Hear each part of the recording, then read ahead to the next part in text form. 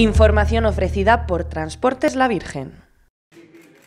Un café para dejar pozo. Periodistas leoneses y personas con Alzheimer se sentaron a la mesa en la tarde del martes en el Hotel Conde Luna para comenzar con una iniciativa tan novedosa como interesante. Café Alzheimer busca ser un foro en el que distintos estratos de la sociedad leonesa debatan con ciudadanos de diversos ámbitos sobre cómo se ve el Alzheimer, los posibles estigmas y leyendas urbanas que surgen cuando se habla de la demencia y diversos aspectos a mejorar juntos. Los periodistas leoneses escucharon las demandas de los miembros del grupo Helen de Alzheimer León y de personas pertenecientes a la asociación sobre el tratamiento y la información en los medios, su cobertura o su importancia. De la misma forma, redactores y locutores animaron a las personas de la asociación a tomar más partido a la hora de comunicar sus problemas y demandas, ofreciendo el altavoz de los medios para hacerlo. Una experiencia que se repetirá con diferentes sectores y colectivos en un café que seguro que deja un pozo en el futuro de Alzheimer León.